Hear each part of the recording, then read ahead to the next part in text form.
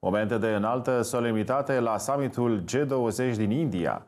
Liderii celor mai puternice economii ale lumii au depus coroane de flori și s-au rugat la memorialul ridicat în cinstea părintelui națiunii indiene, Mahatma Gandhi. Aceștia au primit în dar câte o eșarfă Gandhi, simbolul principal al campaniei sale de rezistență non-violență, care a susținut obținerea independenței Indiei față de regimul colonial britanic.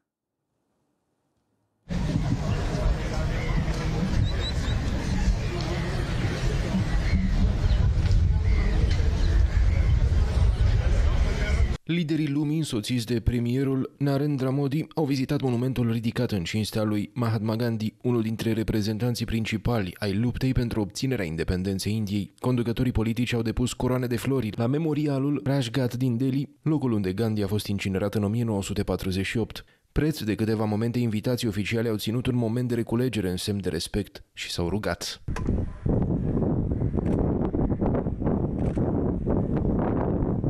La intrarea în memorialul Rishgat, șefii de stat au primit câte un dar simbolic reprezentat de eșarfele Khadi, care le-au fost puse la gât de prim-ministrul indian. Eșarfele sunt unul din simbolurile istorice utilizate de Mahatma Gandhi în timpul campaniei care a contribuit la obținerea independenței. Pentru părintele națiunii, eșarfele Khadi erau un simbol al autonomiei, un articol de îmbrăcăminte care se putea confecționa la nivel. Piesa vestimentară a fost concepută pentru boicotarea produselor importate sau fabricate de britanici în timpul dominației coloniale. Gestul său le-a demonstrat indienilor că pot fi capabili să-și dezvolte propria industrie, eliberând țara de dependență a guvernatorilor coloniali. Gandhi își țesea adesea propriile haine cu ajutorul unei roți de tors, o unaltă care a ajuns să fie concepută ca un simbol al emancipării politice și economice a țării.